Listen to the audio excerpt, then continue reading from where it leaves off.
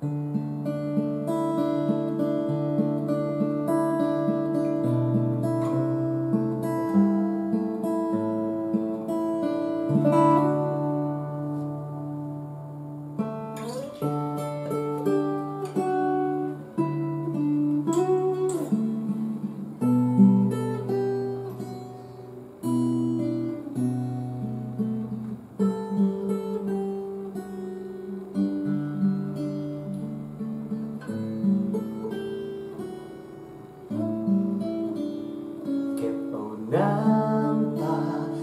เราเสียในวันนั้น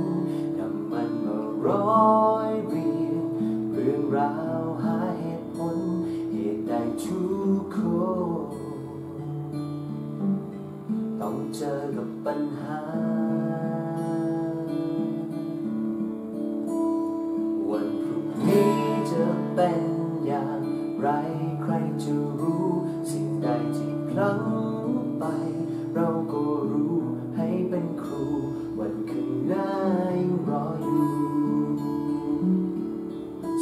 มันต่อไป หยุดเพื่อพักสักนิด พรุ่งนี้เริ่มกันใหม่ ยังไม่สายที่จะแก้ไข ให้วันพรุ่งนี้ เป็นวันของเธอ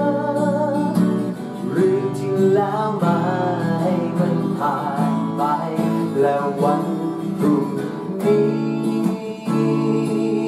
อาจเจอเธอร้ายดี แต่ฉันเชื่อว่าเธอจะผ่านไปได้ด้วยดีอยู่แล้ว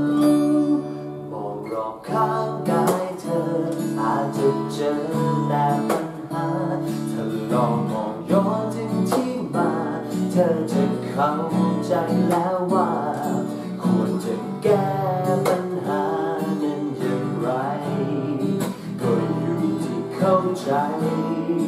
ไหม หยุดเพื่อพักสักนิด พรุ่งนี้เริ่มกันใหม่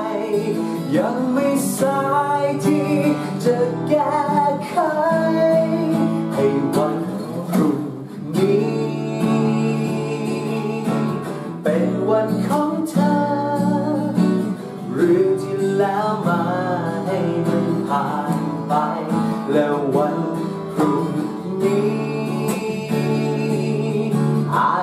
正坏的，但我却。